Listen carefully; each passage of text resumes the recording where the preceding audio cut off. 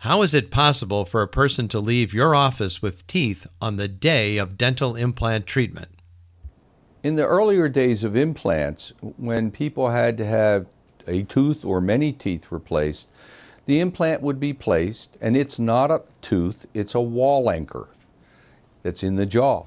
And then at a later date, sometimes months later, a tooth is attached to it. And that didn't service the patient very well.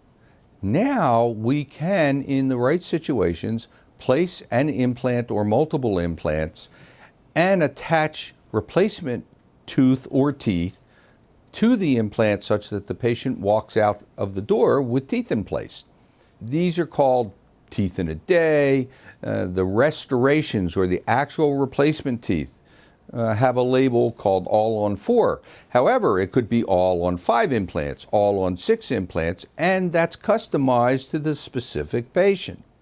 And these are usually temporary teeth made out of plastic and they'll service the patient for a good long time as needed. And they are eventually converted to more durable materials that tend not to stain, don't wear away like soft plastic, don't crack and break as easily as plastic does. And so this takes care of a big problem. Patients are emotionally distressed when they lose teeth, and especially if it impacts their smile.